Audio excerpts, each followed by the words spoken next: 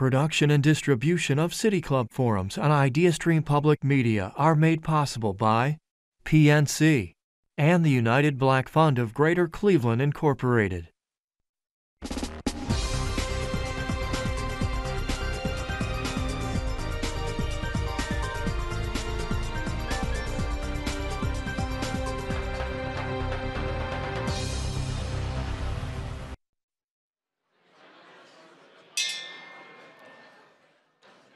Good afternoon, and welcome to the City Club of Cleveland, where we are devoted to conversations of consequence that help democracy thrive. It's Friday, November 10th, and I am Mark Owens, Vice President of Marketing and Communications at Team Neo and the Honorary Consul of Ireland in Ohio. It is my distinct honor to welcome Her Excellency Geraldine Byrne Nason, Ambassador of Ireland to the United States, someone I've got to know very well since her appointment to her role in 2022.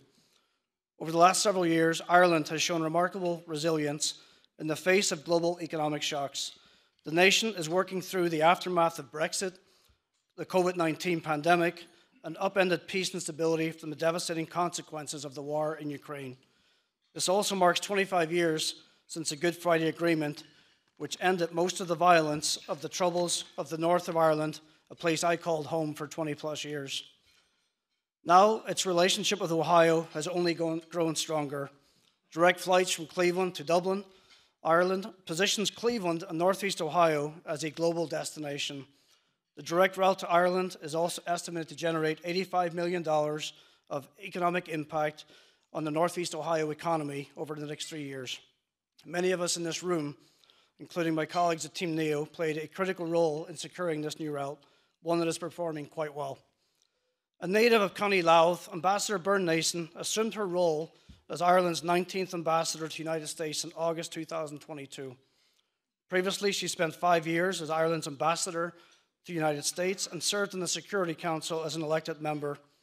During her career, Ambassador Byrne Nason has served in Brussels, New York, Paris, Vienna, and Helsinki, and was also Secretary General of Ireland's Economic Management Council, where from 2011 to 2014, she was the highest ranking female public servant in Ireland.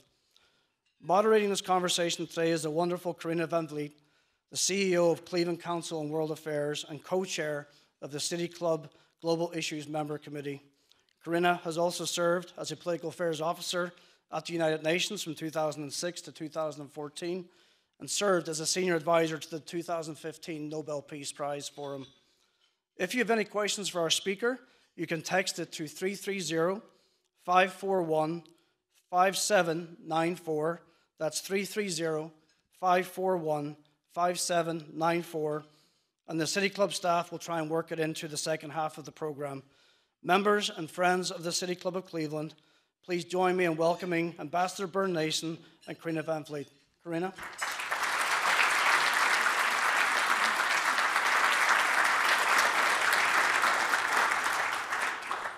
Thank you, Mark. And Ambassador Byrne Nason, as a proud member of the City Club of Cleveland, allow me to welcome you uh, to this stage and to welcome you for your second time to Cleveland. It's uh, the ambassador's second visit to our city. We're delighted to have you back.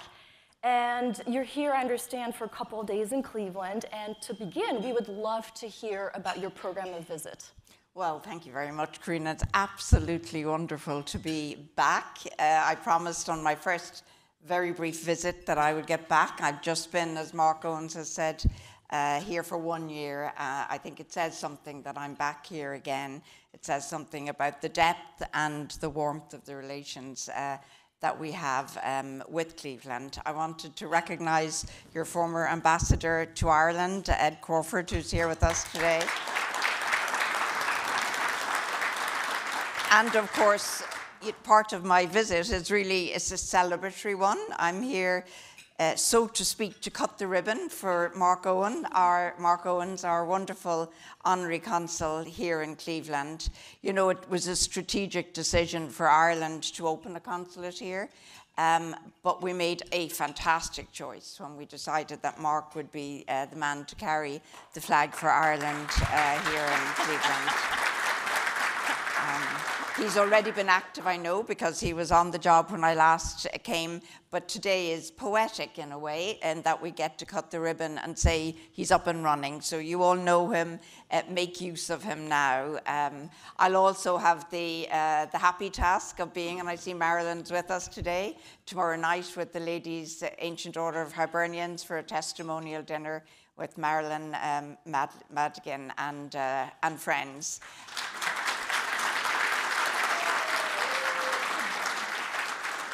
I also, of course, won't miss my quick 48 hour uh, visit, um, not to meet some of your local political class. I look forward to speaking with the Governor this afternoon. I'll also be working uh, during the day uh, in conversation with Chris Ronayne. Um, and tomorrow uh, meeting some of the business community. So it's a visit that covers, you know, of course, uh, political uh, and economic relations. The most important thing I do every day in my job is about the people to people relations between our two uh, nations. Importantly, Cleveland ranks exceptionally, if I may say. Uh, you're our top, one of our top 10 um, homes uh, for, of Irish America, if I can use that term. Um, you have over 12% of your population in this great state um, who have roots in Ireland. Many, many, many of you from my last visit from Mayo, many from Achill. Yes. I'll have to recognize that straight away.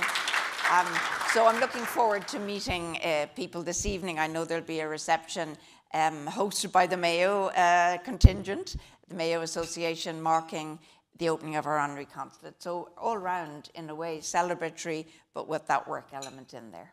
Well, wonderful that this visit is all about celebration. And as you alluded to, there are long-standing and deep ties between Cleveland and Ireland. And obviously, with the inauguration of the direct Aer Lingus flight in May, we here are very excited about the future possibilities for Cleveland area businesses to be able to use Ireland as a gateway uh, into Europe. And I'm wondering from, from your perspective, um, how could we, going forward, continue to further strengthen this great relationship between the Cleveland area and Ireland? You know, I've used the word poetic once, so this will be my last time because Irish people are always accused of uh, speaking in, in poetry uh, or, or narrative.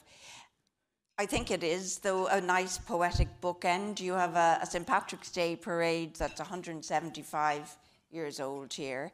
Uh, many of the people who came and marched in that parade for the first time didn't leave the country I'm proud to represent today out of choice. They left out of necessity and in many cases because they couldn't feed their children.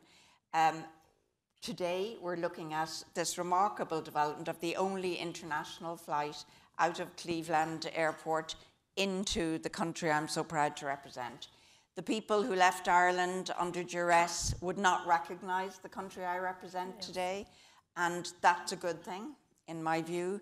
Uh, we are a dynamic, progressive 21st century tiny island. That hasn't changed. We're still stuck out there in the Atlantic. Uh, but when you look at us, we are a leading, and I say that uh, advisedly, a leading member of the European Union, 50 years a member of the European Union. Again, this year, the most dynamic uh, economy in the Eurozone. So we offer huge opportunity uh, to Cleveland um, uh, in both directions. Right. So I always speak about the local relationships in the context of the bigger relationship we have economically uh, here in the United States. The US is Ireland's biggest single trading partner, our biggest uh, source of uh, export. Um, so there is no doubt that the economic relationship between the United States and Ireland is primordial for Ireland. Um, we have in Ireland um, almost a thousand US companies who are working, and a number of those uh, are local here in, um, in Cleveland. Um, I know that, and I will have to look at the, so I don't uh, bludgeon the names Squire Patton Boggs, mm-hmm. uh, Law, Eaton Power, Steris, uh, Sterilization, Cook, Cook, Concentrex, Concentrex. Am I saying that correctly? Nearly. Um, all, nearly, I heard from the Honorary Consul, so I'm getting there.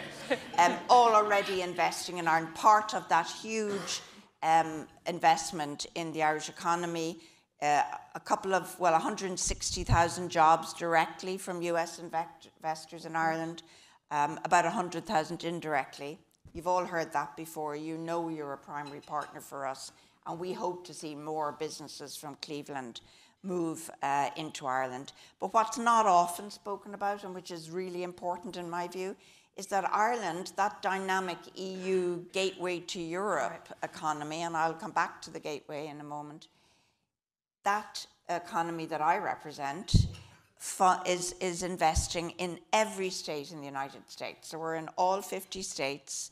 Irish investors support 100,000 jobs here in the United States directly today and growing. Um, and I, you know, I think that when I tell you that we are the ninth source of foreign direct investment for the United States, that puts a small economy like Ireland in the middle of the Atlantic, five million people, way up there if you consider the G7 are global actors of an extraordinary proportion. Uh, then you look at Ireland, we are your ninth source of FDI the intimacy, the sincerity, and the depth of the economic relationship between us is second to none.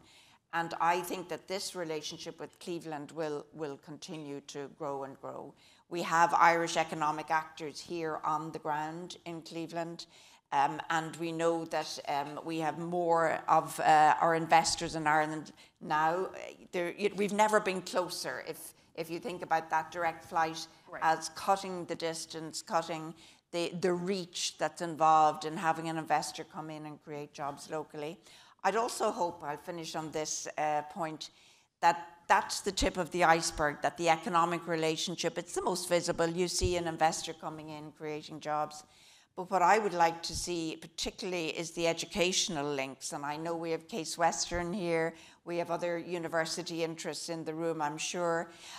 You know, our, our pipeline of people to people exchange is changing. It's, some people argue it's drying up because we don't have the numbers of young Irish people coming to the United States that we had when inward migration was easier.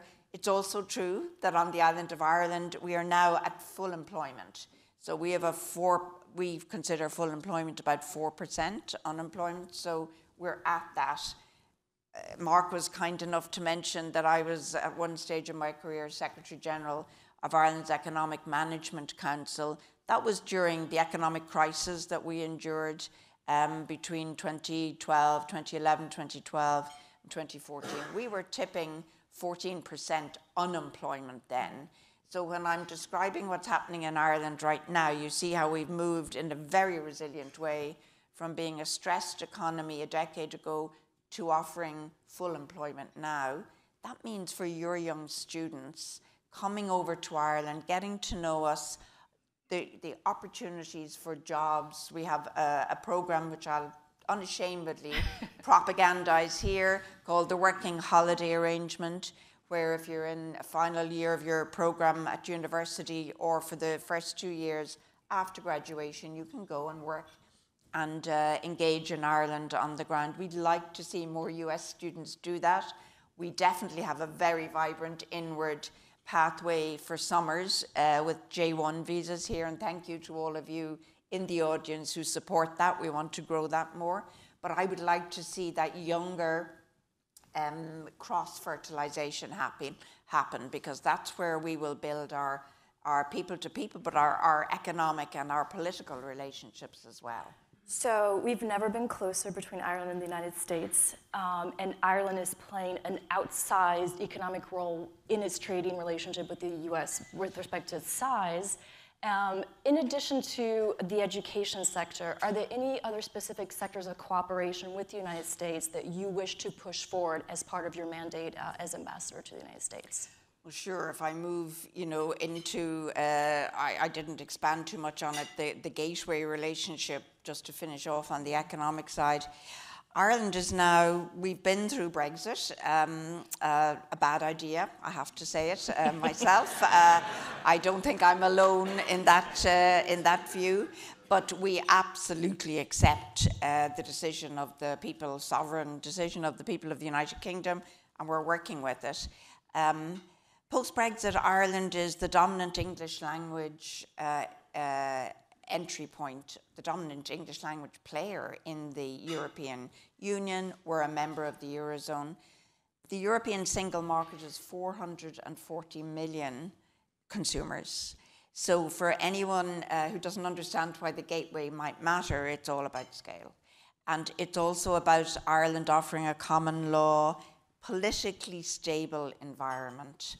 I might just come back to that point because I think in building our relations uh, between Ireland and the United States, it's something that's raised with me consistently as to why, particularly investors, take an interest in Ireland.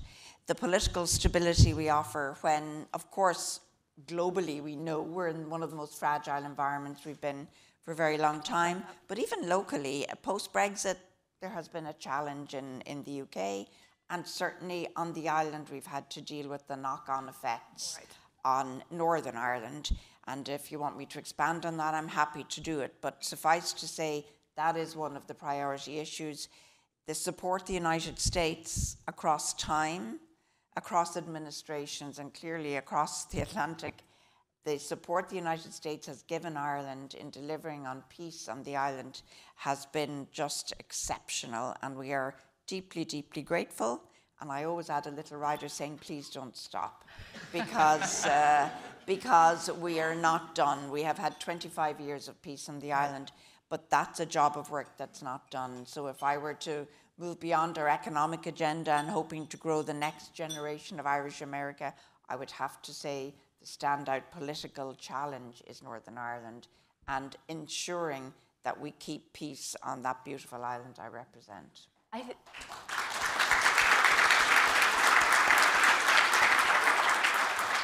well, it certainly is the 25th anniversary of the Good Friday Agreements, as Mark Owens alluded to in the introduction, um, and roughly three years since the effective implementation of, of Brexit. Um, and I think our audience would love to know more um, and get a better sense from you of what specifically the issues are uh, at, between Ireland and Northern Ireland, and what have you seen as the most fundamental impact of Brexit on the border? And where can the United States help? well, just to start with the last point first, the United States continues to help because um, you'll have picked up that I'm intimating Brexit had probably its most serious effect, really, in relation to Northern Ireland. People will know factually that the people of Northern Ireland voted to stay in the European Union. The sovereign decision of the United Kingdom as a whole was to leave. So, just with those two facts, we have a, a challenge. Prime Minister Sunak, uh, once he assumed office, uh, was quick to negotiate the Windsor Framework with the European Union, and I think that job is done. The European Union was extremely patient um, over several British governments to, to come to a deal. Um, you know, the, there is no overall perfect solution to a situation where you have a, a part of the United Kingdom, Northern Ireland in particular, which wanted to stay in the European Union, has been offered, I think, an unrivaled and exceptional opportunity to bo- both be part of the UK single market as well as the European single market. In a very facile way, I can say best of both worlds on offer there the Windsor Framework resolves as best we can, as best the EU and the UK could. Ireland wasn't at the table, but we respect that our EU partners were extremely, extremely uh, helpful in coming up with the Windsor Framework uh, arrangement with the United Kingdom. Now we need to see it rolled out.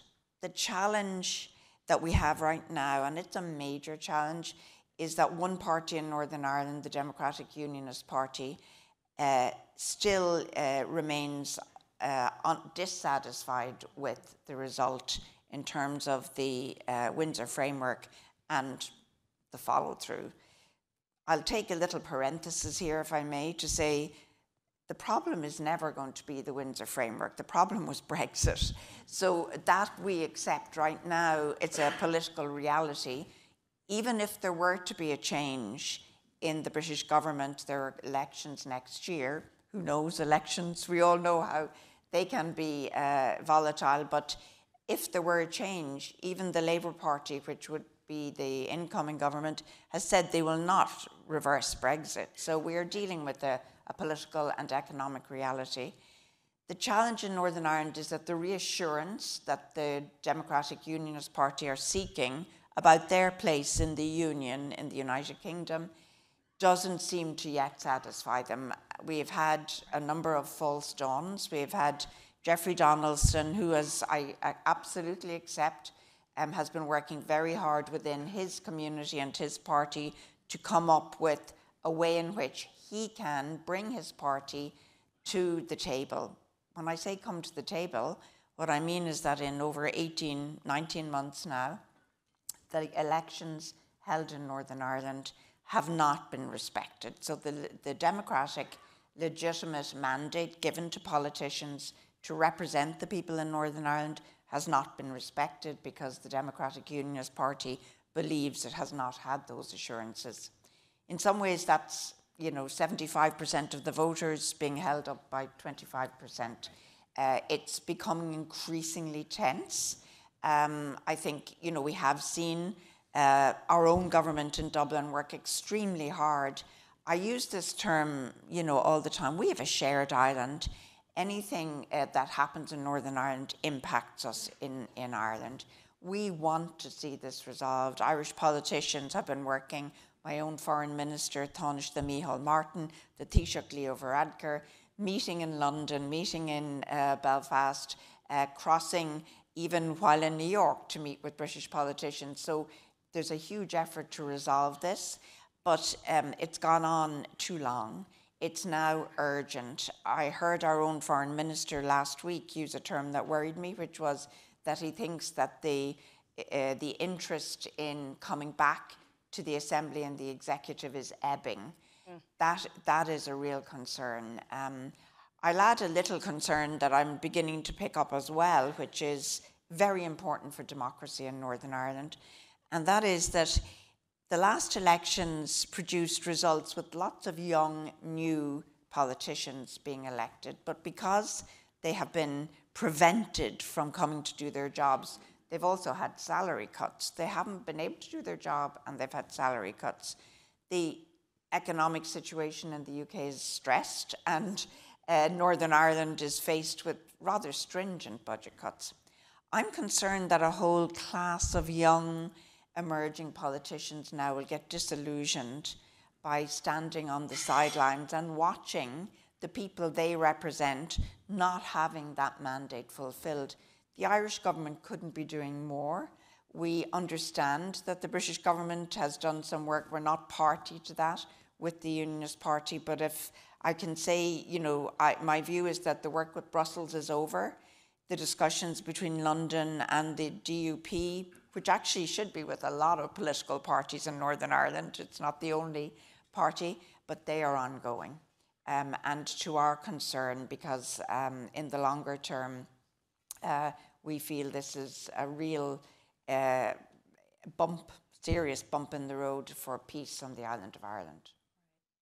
Uh, broadening the question, so in addition to Brexit and the complexities of the relationship with Northern Ireland and the UK, you know, uh, being a diplomat from an EU country is further complicated these days because in addition to advancing your national interests, you also have to contribute to the joint EU uh, foreign, and foreign security policy and coordinate through the EU uh, External Action Service. So I'm wondering if you could tell us a little bit about that and specifically speak to the issue which I think is at the heart of uh, conversations between the EU and the United States, which is the situation in Ukraine.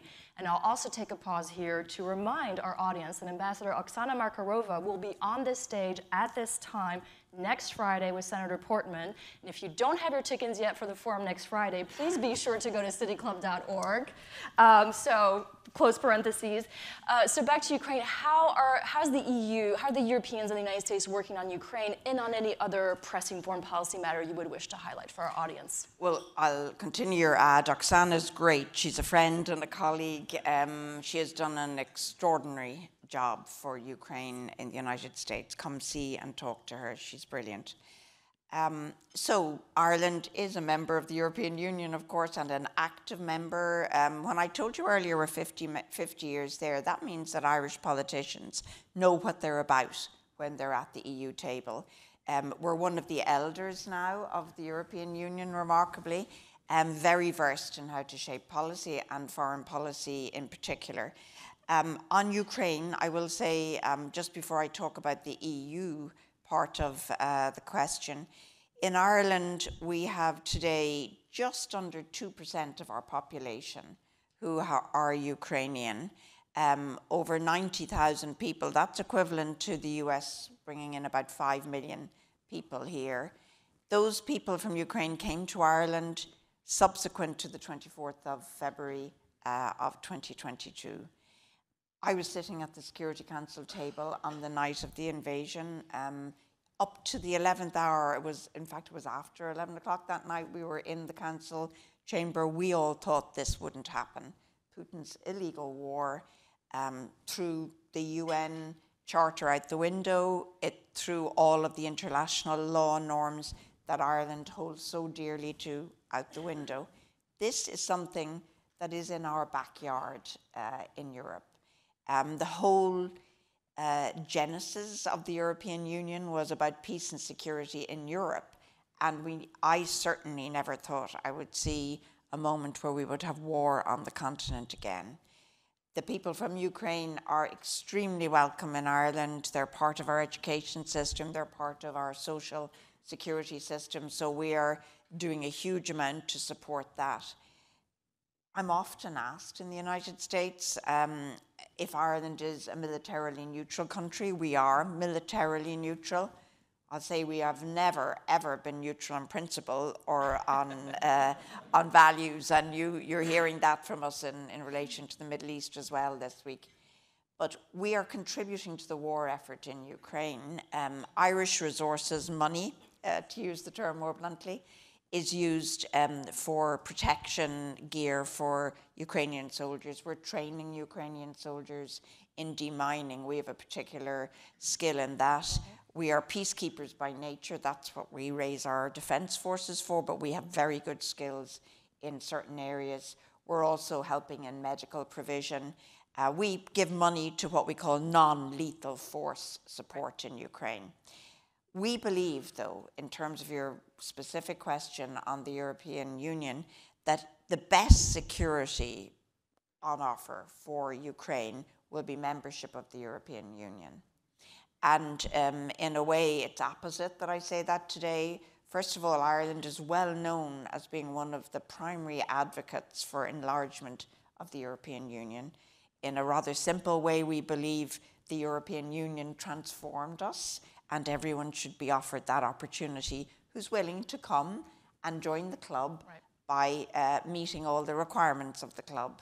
You heard a, a, an opinion yesterday from uh, the European Commission that is that has been very fast uh, issued in terms of Ukraine's prospects for membership of the European Union. I'm sure when Oksana is here next week, she will recognise that Ukraine's um, vocation is a European one, um, but there is work to do. So they, they will need to undertake, as every country that has joined, including Ireland when we joined 50 years ago, you undertake reforms. I think in Ukraine um, there are issues, um, people use the term corruption very loosely. There are issues around ju- judicial security sector reform, there are issues around lobbying, issues around minority rights.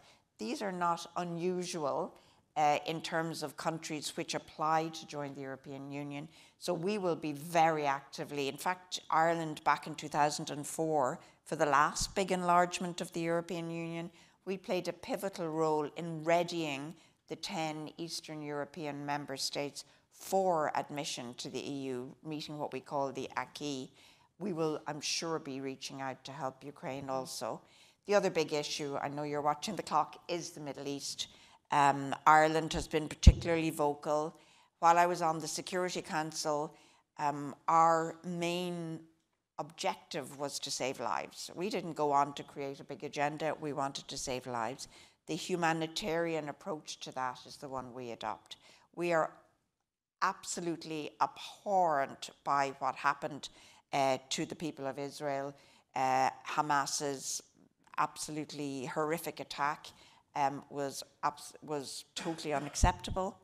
We now need to see a humanitarian ceasefire. There are civilians dying over 10,000 civilians, 70% of the civilians in Gaza who have died are women and children. This has to stop. So Ireland is very much to the forefront of the European Union uh, voice in that, and I can talk more about that in questions maybe. Uh, nice segue. This will be my last question for, and I know there's many, many very good questions in the audience that you're dying to pose to Ambassador Byrne-Nason. Uh, so giving you a heads up there. Um, my last question is just a broad uh, question about A, the transatlantic relation. Mm. Um, and so the first part of my question is in 2021, when the Biden administration uh, came to office, one of their clearly stated foreign policy objective was restoring the transatlantic alliance and focusing on partnerships. Fast forward 2023, how do Europeans feel about how well the Biden administration has executed on that intent? And the second part of my question is from this close friendship, this transatlantic relationship, um, what can we, and I ask this here at the City Club because we spend a lot of time at the City Club asking really tough questions about our democracy, our social issues, and the role that the United States should play in the world. What lessons could the United States learn from Ireland about democracy and the, and, and the, the role we should play in the world? Okay, maybe I'll just very briefly answer the second first, since it's a very big question. Um, we're, you know, we, we're humble, uh, Irish people. We don't believe we have lessons really to give to anyone, but we have a history of conflict, of hunger, of migration. So we've learned a thing or two as we've gone along. And one of the things that we have learned above all in the creation of peace on the island of Ireland is that democracy is, is a process, it's a, it's a delicate, fragile thing. It, there's no guarantee uh, in a polarized environment, which I, I think you all will accept you're witnessing in your own country now. We saw that in Northern Ireland. It takes time, it takes investment, and above all, it takes a political will. Um, and, you know, I hope that the kind of participatory democracy that we had in Ireland. Um, the United States, you know, uh, sent George Mitchell uh, at the end. President Reagan was um, at the beginning of the conversation. and George Mitchell brought it home. He spent five years listening to people and talking to people. It's a much underrated value to listen, right? And um, we in Ireland have something we call the citizens' assemblies. Mm-hmm. they are we bring our citizens in and discuss issues. Through those assemblies, we have recently uh, changed our constitution twice marriage for all and uh, allowing sexual reproductive health care for women. Needed to change our constitution. We are currently looking at drug laws. Uh, we have looked at our education system. We are using that talking and listening. So, I would, if I have anything to say, it's that this is a hard thing to do. It's a long road, but we want to, you know, absolutely the beacon of liberty and all uh, that is uh, democratic in the, United, in the world has always been the United States. Just to jump back to the EU US transatlantic relationship, I haven't seen it in such good shape in a long time. Um, the, uh, the Ukrainian uh, issue is a very good example of that. We are in lockstep on that cooperation. We work on sanctions against uh, Putin. We work on support for the Ukrainians. And I know the United States feels, as we do, that that joint cooperation is something that Putin did not bank on. He frankly thought we would, we would divide on this. And that is an absolutely critical part of what we're doing. The Middle East hasn't always been an area where we have spoken with one voice, but in recent weeks, um, I've he- heard increasingly the Secretary of State Blinken speak uh, importantly about that uh, humanitarian. There are semantics, a pause, a ceasefire. The UN called it a truce, um, which is where we would see things. We are working with the United States directly on, particularly on civilian um, uh, protection uh, in this horrific uh, conflict. I think the very visible and probably the, the more concrete side of that relationship that I've been most impressed by has been the uh, Trade and Technology Council, a new forum created between the Biden administration and um, the, uh, the European Union. For the first time in seven years, we just had a summit here in Washington, where issues from steel and aluminium, I know that's a local concern for you, coming up with the Global Compact on that, um, critical minerals, working on artificial intelligence, looking at how uh, that relationship on the green economy goes forward. Few bumps in the road with the IRA and some of the legislation from the Biden administration, but the good news is that we can talk to each other. That is not something that we were doing in such a work-a-day, work woman-like way. Um, that we sit at the table and work through the issues. In December, we'll have the fifth meeting of that uh, TTC um, a remarkable advance in EU US relations. And I think when you have both the economic and the political channels working in parallel, you are forging that relationship in a way. I'll finish on this. You know, the United States eh, and the European Union, we represent the two biggest global actors when it comes to trade, to investment, to democracy. There are other players out there, I don't need to mention them, uh, who don't see the world as we do, if we are in lockstep with each other, who can be against us, basically? Right future for cooperation.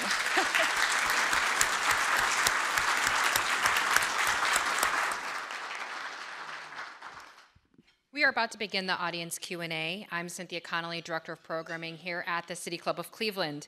Today we are joined by the Ambassador of Ireland to the United States, Geraldine Byrne Nason, Moderating the conversation is Karina Van Vliet, CEO of the Cleveland Council on World Affairs.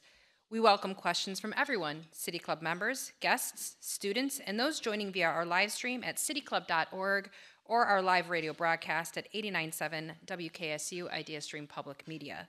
If you'd like to text a question for our speaker, please text it to 330 541 5794. That's 330 541 5794, and our City Club staff will try to work it into the program. May we have our first question, please? Uh, thank you, Ambassador, for your great remarks.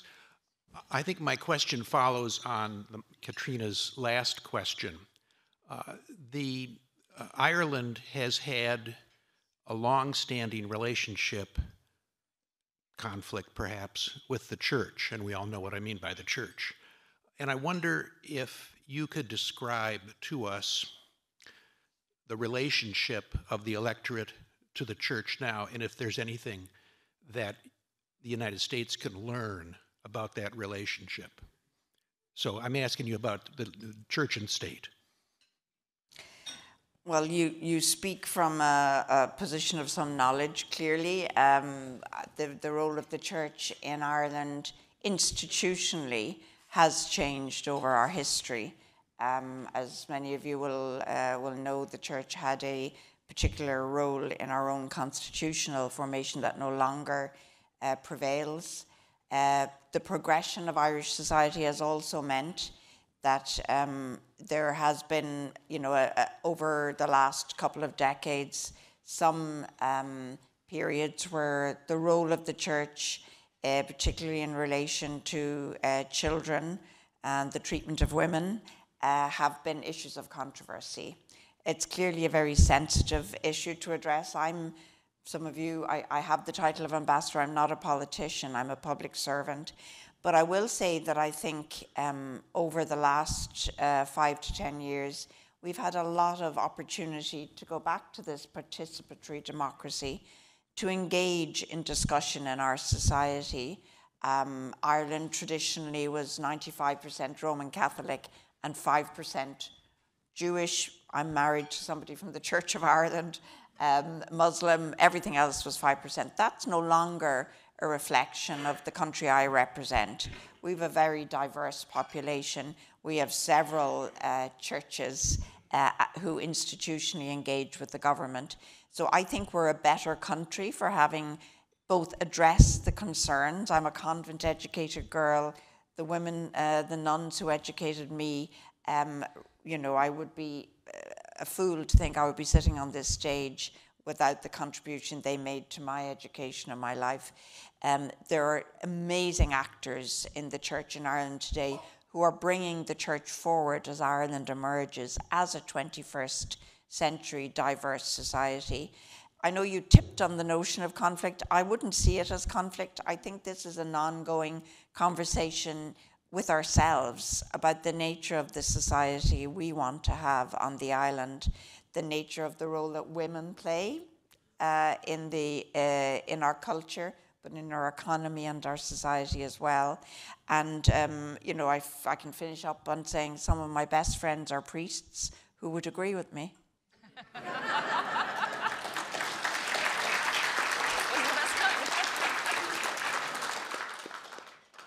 Ambassador, it's wonderful to have you here with us. Uh, I had the wonderful pleasure of visiting Ireland in 2019 and got to go a lot of places. One of the things I got to do was take a train from Dublin to Belfast.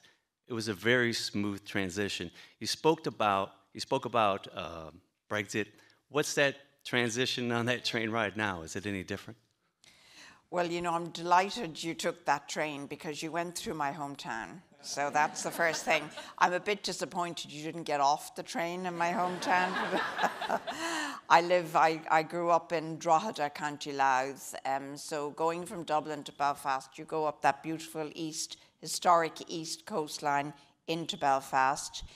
Is it any different post Brexit if you're on that train? No. I mean, the irony is on our shared island the only way you know you've moved into Northern Ireland is when your phone pings and you've changed, uh, you've changed supplier. I grew up in a border county. You know, I always say this publicly because I want to respect those uh, girls who sat with me. In my junior school, there were refugees from Northern Ireland. Today, if you were in, in Belfast or in Derry, you'll see anybody who's watched the Derry Girls. You, many of you, um, of course, will will see vibrant, dynamic cities there.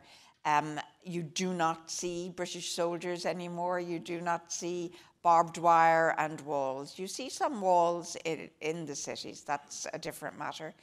But, you know, we on the island of Ireland um, are very delighted that President Joe Biden recently, um, well, a year ago, just after I took office, appointed Joseph Kennedy III as an economic envoy to Northern Ireland. And to your point, he has taken that train. He has been, he has travelled that road uh, from Dublin to Belfast. And his role on behalf of the Biden government or Biden administration is to bring investment into Northern Ireland. Ambassador, how, how are, are, you? Um, Ireland's made some, you know, great steps towards addressing a lot of the issues that the island faces, but also that the world faces. Uh, the population of Ireland has increased uh, to newcomers by 20%. Ireland is the only country in Europe that has less people in it now than it did in 1847, and slowly the number is growing to a number that uh, Ireland could accept. I think Ireland's been very adult about how they deal with migrants and immigrants, and I think that there's an appetite in this country.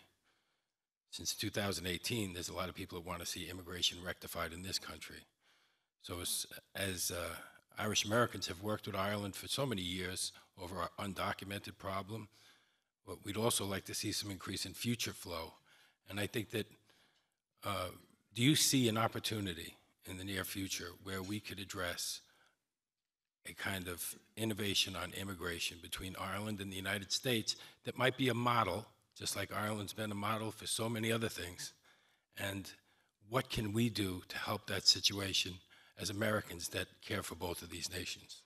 That's a very good question. Thank you. Um, I spend quite a bit of my time in Washington um, on Capitol Hill, and I'm consistently raising the challenge uh, of migration for this generation of young Irish Americans. Um, you know, we know, I always say this great country was built um, uh, by Irish uh, immigrants who came here um, and who became, you know, bastions of your economy, of your society. Somebody just mentioned on the way in here in Cleveland, your lawyers, your police force, your your big uh, uh, titans of industry have Irish connections. We want to see that for you in the coming uh, century as well. We have a number of people, you alluded to it in the question, here in the United States who are in a, a legal limbo, and I'll address that separately perhaps. But what, what I'm talking about these days on Capitol Hill is providing a legal pathway for young educated Irish. We have the youngest and the high, most highly educated population in Europe, in Ireland. Um, a great appetite to come here. Those jobs I spoke about here in Cleveland from Irish investors. Investors are telling me in the United States they can't get the visas to bring their own small core teams over to establish those businesses to grow American jobs. This is not clever, to put it mildly. Um, I recognize the political sensitivity of migration writ large. There is a bill uh, which is on Capitol Hill called the E3 visa bill that we have tried and failed uh, to bring to fruition that would offer about 5,000 visas a year for young Irish graduates. Um, but that bill is stymied um, in the Senate. I won't get into all the detail there. I remain optimistic that we will dislodge this opposition in the United States to migration because I think enough people will recognize that it's in the US own interest to have bright, uh, educated young people come um, to invest in your country. I also think it's very important for you to go back to the question earlier about diversity and polarization that the United States does not turn inward on itself. You're an extraordinary country, but homogeneity doesn't bring strength always. And you were built on uh, your diversity. And if uh, the next century uh, doesn't reflect that, I think you will be the poorer for that. Um, you know, young Irish people can live and work anywhere in Europe um, they, as though they were working next door. So there are, we have freedom of movement of labour, capital, and services. So, you know, the market is open uh, for our bright young uh, grads to go to Rotterdam or to Paris or Frankfurt. They, many of them want to come to Cleveland, uh, but uh, seriously, the doors are not open. So I work every day, as do all the Irish politicians who visit, to try and open that door again, uh, because I think it's a, it's a it's a tragedy. I'll use that term. Uh, it's a tragedy that that pipeline has uh, has dried up, and it's also you know, politically. I'm seeing it on Capitol Hill. We're moving beyond the second and third generation of Irish um, politicians as well, who helped, I think, to guide your country through difficult times. Um, I can mention, you know, that you have 46 presidents 23 of them were of Irish origin, um, and one of them currently uh, sits in the White House, Joe Biden. Um, he wears that very proudly. Um, I began my career uh, when President Reagan visited Ireland and marked Ballyporeen as his home. Um, and of course, um, we're now, I think importantly, I'll finish on this to say, we're now uh, 60 years this year exactly since John F. Kennedy who for us was the quintessential golden migrant uh, who came to this country, who came to Ireland 60 years ago, and of course, who died 60 years ago. That's a long pathway through to, um, to uh, say, you know, migration, Irish migration into the United States as part of what we are, and we will do everything we can to restore that.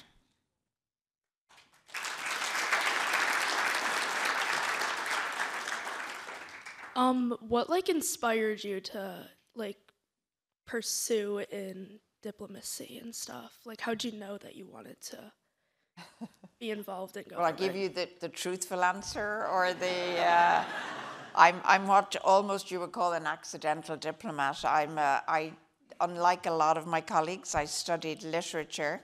I studied literature in Irish and uh, in the Irish language and in English. And I was lucky enough to win a scholarship to begin my master's, but I hadn't read the rider, the small print at the end, that said in order to draw down the bursary, I had to visit a career guidance uh, officer who was insisting that I began to look beyond the academic world. And he mentioned diplomacy. None of my family had been in the public service in any shape or form, uh, so it was a bit of an adventure. Um, I took the Foreign Service exam. My, my dad, who was 50 years old at the time, um, died uh, at, at 50, uh, and I suddenly became very alert to what reality was all about. I'm the eldest of three children, And um, I was offered a place in the Foreign Service, and I thought I'll get back to doing my literature after a few years in this thing called diplomacy, um, and that's 40 years later.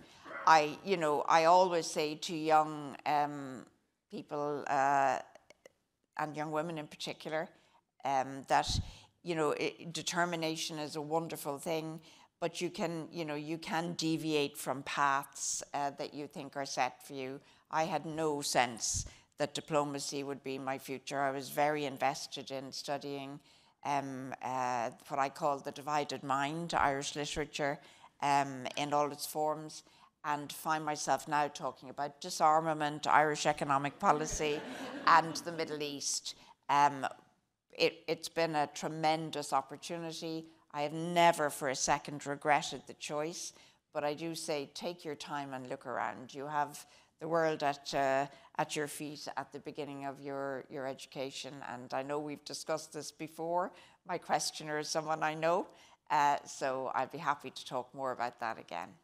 Madam Ambassador, it's an honor to have you here. Uh, my name is Kwame Bachwe, and um, I'm part of the Global Shapers community with the World Economic Forum. Um, I represent the Midwest, so I manage a number of hubs of young people um, across the Midwest. Um, Last year, I had the opportunity of being in Davos um, as part of a delegation of young people. And while we were there, one of the things we realized very quickly, um, interacting with a lot of the leaders that we had there, was that there was an apparent rift and separation in values um, that young people were interested in and in pursuing, and what the traditional institutions um, were interested in.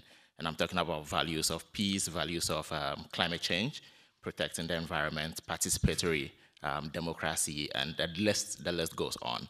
What I'm interested in learning from you is how is Ireland working to uplift and center the voices of young people um, in the policy making, the democratic process, um, the transatlantic um, relationship building, and what can the U.S. learn from, from you? Thank you. Well, congratulations for the work you're doing. Keep on doing that because uh, you're, you're investing in all our futures. Um, thank you for commenting on the young Irish people that you met. Were you part of the mayoral trip? I meant to say earlier, we were so thrilled to have Mayor Bibb come to Ireland with a, a business delegation. I know he went uh, west. He was also in Achill. So um, I think he had a, a, great visit, and I know he's got high hopes for the economic relationship. The, the youth in integration, I mentioned we have the uh, highest percentage of under 25s in, in the European Union. And it's something that I actually engaged with unusually in my last role at the UN, where um, because Ireland was on the Security Council, we were taking this is a little vignette for you we were taking a very courageous position on climate security. The Security Council remarkably does not recognize climate as a security risk. So we worked, uh, we brought a number of uh, delegations from New York to Ireland, to Cork in the south of Ireland, uh, where we conducted a youth climate assembly essentially, brought young people from right across the country who had been engaging in their regions in discussions on climate policy, many of them not yet able to vote. So they were in these fora of, of discussion rather than able to express their vote. Um, we created an assembly there where your own former Secretary of State, John Kerry, appeared, my own uh, foreign minister, who happens to be from Cork, um, uh, appeared also. Um, and we, we um, had a commitment on at that assembly, which still holds, that the Irish Parliament would hold a youth parliament day to discuss climate. That's happened at least once, if not twice, since that and that the views expressed from that youth parliament would be factored into uh, the development of policy because I think that's so I'm coming to my my point here that it's great to have youth voices it's great to have youth fora and to hear from young so-called young people but unless you see your voices reflected in policy um, you know th then uh, you won't be able to to maintain confidence in the institutional system and I believe that applies to you before you vote. I will have a little twist here to say that I can only encourage in this country all of uh, those who are entitled to vote, who are young people, to get out and vote to influence policy. Um, we were very conscious. One example in the UK and during Brexit, we knew the young vote was opposed to Brexit, but it didn't turn out to vote. So in Ireland, we also work very much in empowering young people to have their voices expressed at the ballot box as well.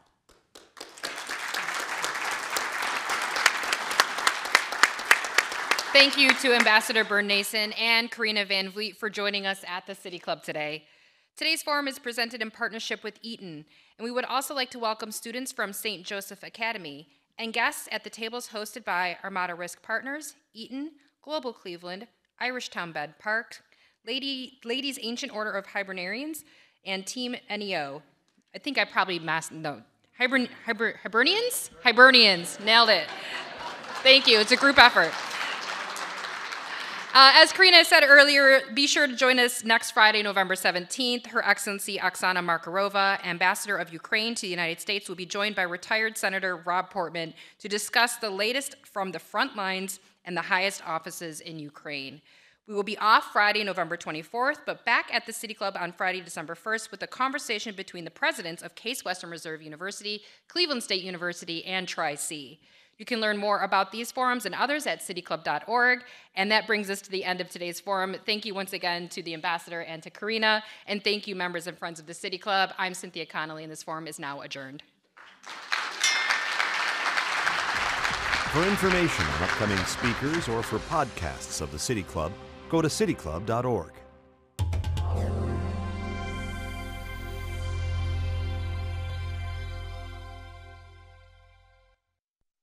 Production and distribution of City Club forums on IdeaStream Public Media are made possible by PNC and the United Black Fund of Greater Cleveland Incorporated.